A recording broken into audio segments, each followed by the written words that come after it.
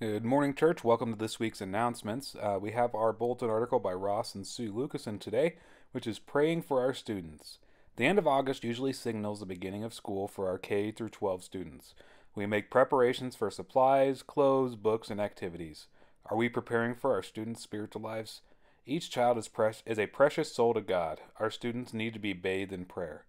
On the table in the foyer, you will find envelopes containing a magnet with the student's name. We ask that you pray for this student throughout the year. Included in the envelope is a small sheet of suggestions and scriptures to pray over your student. Please, one envelope per family. Post this magnet in a prominent spot, such as the refrigerator, to remind you to pray. Remind yourself to pray every time you open your refrigerator door. If you don't know the student you choose, get to know who that student is. Our children in the body of Christ need to know that we are praying for them. Be creative, send your student notes, small items, or attend their music, sports, or other activities. If you have any questions, ask us for more information. Let's see how we all grow through praying for our students. Ross and Sue Lucason. So thank you, Ross and Sue, for doing that. Uh, make sure you pick up a magnet. Uh, also, our Secret Sisters forms are due today. Um, so join us for our Secret Sisters selection meeting on Wednesday, 8.30, uh, or August 30 at 7.30 p.m. If you have any questions, contact Dina or Shelby. Um, Divorce Care is a biblically based 14 week video series, and it starts Thursday, September 7th from 6 to 8. It'll be at the Hospitality House, which is 3412 Central Avenue. So please contact Carol if you have any questions.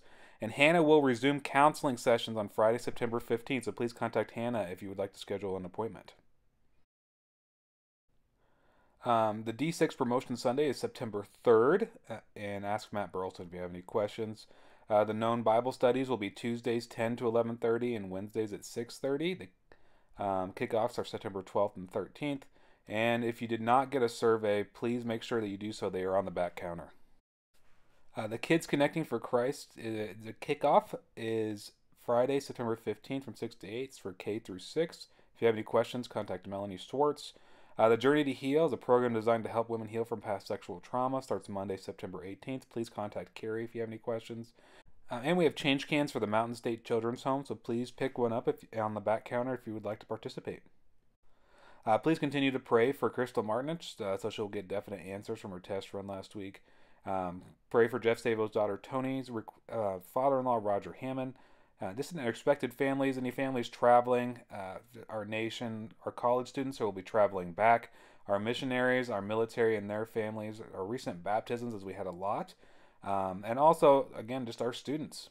And then we're going to have here is our uh, our requests that are the ongoing prayers. So please go through those and pray for them also. And may God bless us as we move forward by moving upward, inward, and outward.